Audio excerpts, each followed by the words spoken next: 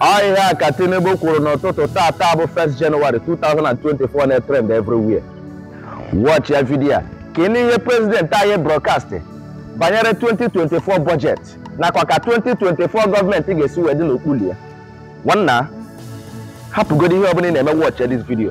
Ma tụsa ya na ọ ya na-akpọtụ everywhere Dear compatriots, it gives me immense joy to welcome each and every one of you, young and old, to this brand new year 2024. Though the past year was very challenging one, it was eventful in so many ways.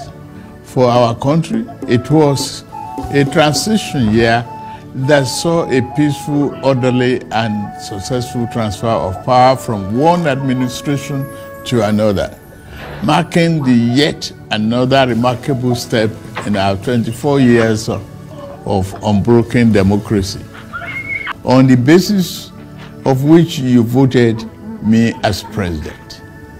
Everything I have done in office, every decision I've taken, and every trip I've undertaken outside the shores of our land since I assumed office on 29th May 2023 have been done in the best interest of our country.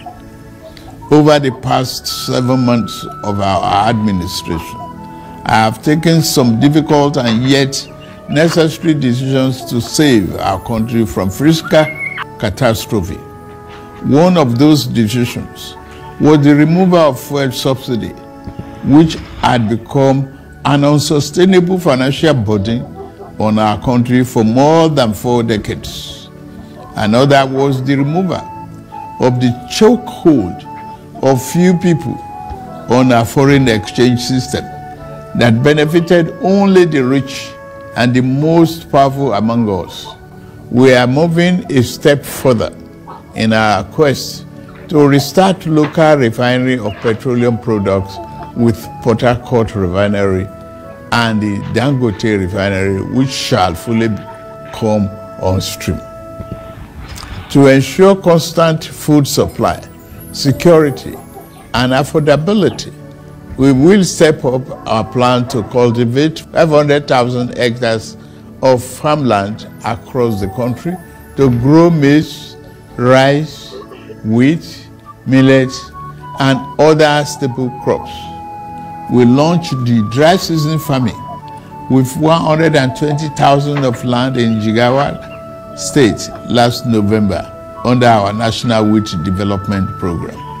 To my political opponents in the last election, election is over.